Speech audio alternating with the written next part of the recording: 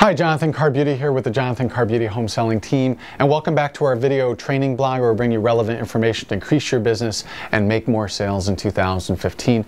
Today I wanted to share a really great book with you. I actually bought it for many of my team members, and I actually had some of my team members come up to me after a couple days after they read the book and they just thanked me for giving them this book and it really um, gave them a lot of clarity as far as what they should be doing specifically step by step in their every every single day as far as um, setting up their business day and prospecting and getting ready to be successful.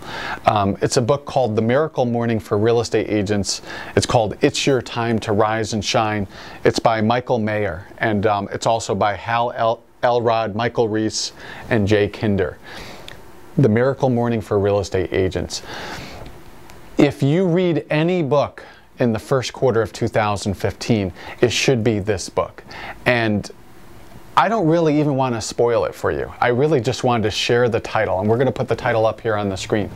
Go to Amazon.com today and order this book and read it. And if you do order this book and you read it, I want you to shoot me an email, or I want you to call me, or text message me. I don't care.